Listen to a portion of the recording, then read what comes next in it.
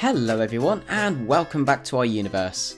Today we're going to be talking about the colours of the planets.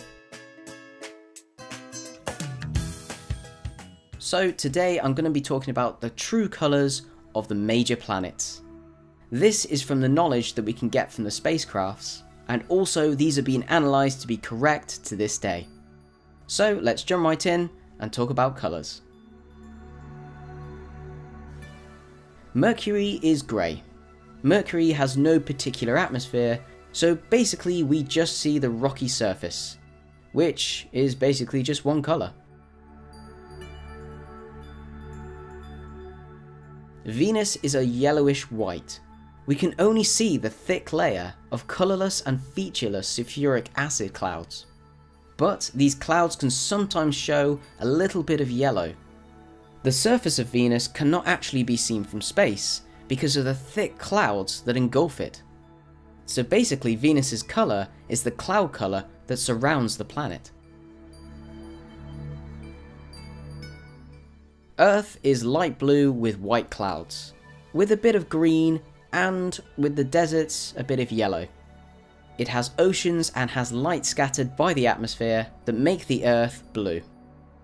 Depending on the area of the individual picture, you can also see browns, yellows and greens from the continents.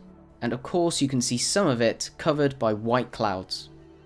Earth is by far the most dynamic and most unpredictable planet we can see from space.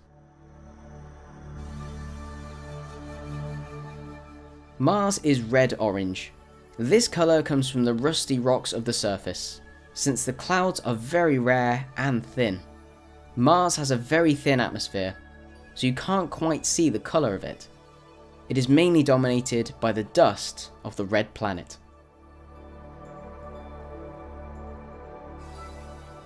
Jupiter is basically orange with white bands. The white bands are coloured with ammonia clouds, while the orange comes from ammonium hydrosulfide clouds. Neither of the four gas giant planets have a solid surface, so all we can see is just the clouds in their atmosphere. Of course Jupiter has the big red giant spot, which of course has been dominating its surface for centuries. Saturn is a pale yellow. White ammonia haze covers the whole planet, and it actually obscures redder clouds below. Currently, Saturn's northern hemisphere is blue, Scientists think that this is because of the rings are blocking the sun in the north. This is because it's winter in the north of Saturn right now. Things are basically colder at that point, and the ammonia clouds are lower down than normal. This gives the rest of the atmosphere more of a chance to scatter light, just like the Earth's atmosphere does. Uranus is light blue. The colour comes from methane clouds in fact is one of the most featureless planets in the solar system. In some photos released in 1986 from Voyager 2, Uranus looked bright green, but that colour was artificial. Again, Neptune is light blue, just like Uranus. And this is again due to the methane clouds. The surface of Neptune appears darker than Uranus simply because of the greater distance from the sun. It just simply gets less light. And of course I'm going to include Pluto. I know Pluto is not a planet, but because we've had a flyby this year, I'm going to include it, because we now know the colour of this dwarf planet. And the colour is basically light brown. So the light brown colour is the persistence of the dirty methane ice on the surface.